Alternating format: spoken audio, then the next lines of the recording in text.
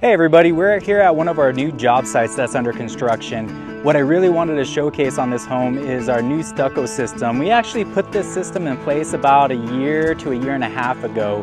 Kind of an industry standard is a, a two-coat system. We are utilizing a three-coat system that utilizes Flexol for one of the coats. So follow me, I'll kind of talk a little bit about it. What's already completed on this home is going to be the black paper and wire uh, which is your WRB system. And then uh, after that, they install the chicken wire that the gray coat adheres to.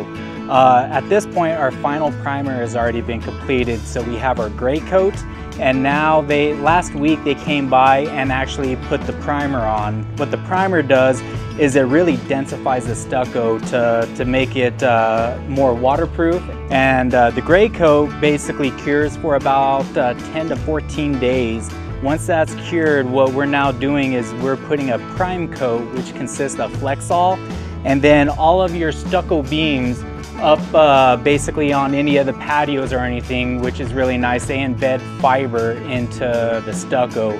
The fiber really minimizes any chances of stucco cracks occurring and it, it also helps with an additional waterproofing uh, membrane on the system. So what you're seeing here is the finished product of the, the Flexol. Uh, once the Flexol is installed, then they come back and they fully uh, prime the entire house. So this is actually not our stucco color, this is the stucco primer.